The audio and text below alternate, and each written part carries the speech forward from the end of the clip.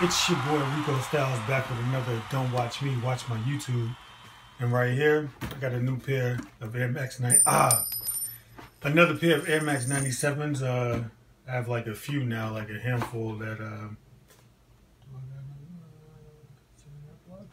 that um I already accumulated. But um these I might take these back. I'm not for sure yet, but uh, these came out a couple of days.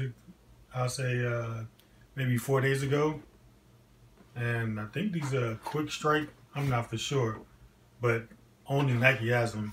Anyways, I'm gonna do a, a quick review. These are the Air Max 97s. These are Rush Pink and a Volt color with, you know, got the white and black going on. These are pretty, I like them. Um, when I got them, I actually had to like, see they kind of dusty right there, but yeah, like dirt marks on it.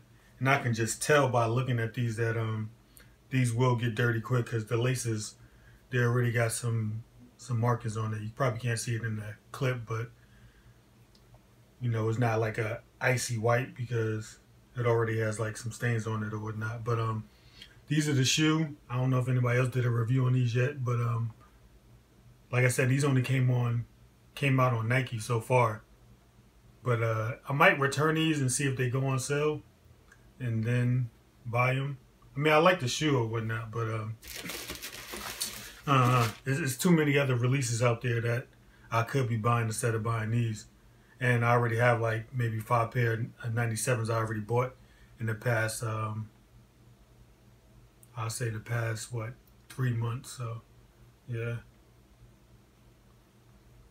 I'm not gonna do an on feed on these because uh, I might be returning these so there's no point. But these are the shoes.